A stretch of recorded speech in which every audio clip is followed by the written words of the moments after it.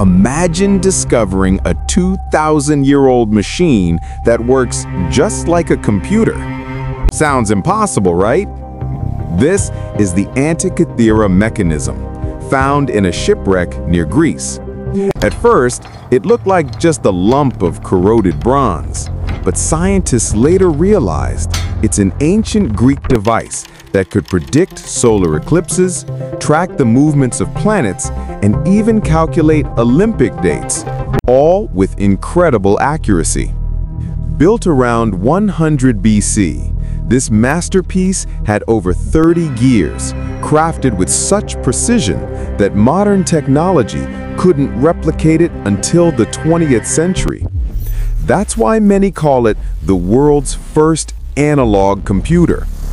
But here's the mystery.